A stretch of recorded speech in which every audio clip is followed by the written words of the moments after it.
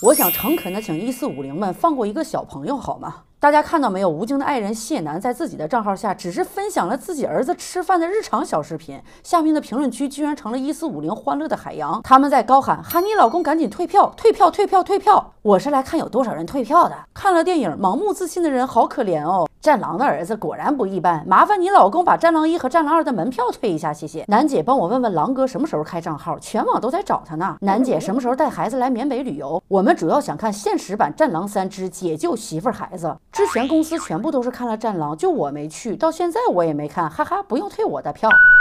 还有更多更难听的话，有一些直接针对人家不到十岁的孩子，我都念不出口。我们先就事论事，在那边出事的人是怎么过去的？我们有没有营救？这些想要关心的人可以去正规媒体渠道关注，我们也有相关人员在处理，不用你们在这扯着脖子喊，扯着脖子喊也解决不了问题。其次，吴京是个演员，人家拍了几部电影而已，电影是什么不知道吗？这么多人拿电影带现实的节奏，真的服了。那要这么说的话，按照好莱坞大片，世界上哪儿出乱子了？你们是不是要去米国？找队长，找超级英雄来帮忙啊！咱们有啥事儿也可以去找啊，因为他们在电影里头可是拯救全世界、全人类的。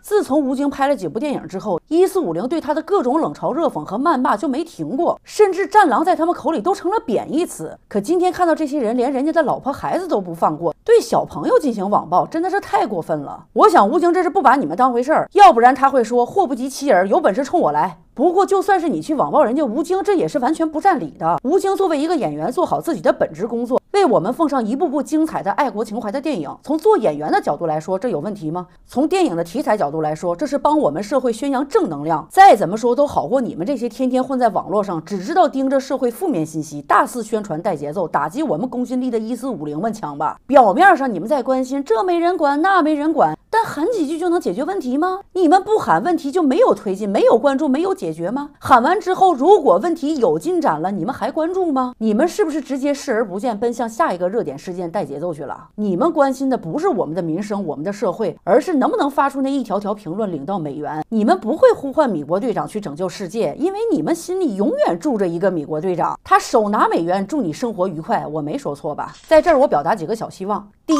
希望网站可以对谢楠的儿子进行保护，这么小的孩子不该因为这样无语的理由被网暴。第二，希望我们有更多讲道理的网友们和博主们站出来为谢楠一家发声，他们被一四五零借力打力实在是太冤枉。第三，我喊话一四五零们，就算你们是为了领粮食带着任务的，就算你们是来制造负面和对立情绪的，这些我们明眼人都看得出来。但你们多少有点口德，放过小孩子好吗？你们骂像我这样的博主，骂成年人，至少我们有明辨是非的能力，有一定的承受力，也有像坤姐我这样战斗力爆表的，不介意迎战。但你针对小孩子，怎么张得开口啊？咱说谁都不是石头缝里蹦出来的，你没有家人吗？骂祖国骂的道德没有了不说，连基本的人性都没有了吗？你们总说有的人只有信仰都没有人性了，那你们呢？我随便说几样啊。礼节、道德、尊重、尊严、底线、人性，哪个你们能拿得出手？我就是想不通，我们中有些人为什么永远只能看到别人的发展进步，对我们自己的进步视而不见？当我们有一点不足呢，就立刻无限放大，甚至使用各种手段去放大，比如在网络上扩大舆论的影响。就算你们真的认为什么事儿有问题，为什么不就事论事、摆事实、讲道理、理性辩论，而要随便去找个可以带节奏的地方去带节奏？嘴巴还不干净，请放过那个孩子，有本事冲我来！不信你们看看我的视频发出来之后，有多少爱国的、讲道理的网友会点赞，会在评论区声讨你们这种行为？还是那句我曾说过的话：不爱了也请不要伤害。君子爱财，取之有道。做人做成你们这样，四个字评论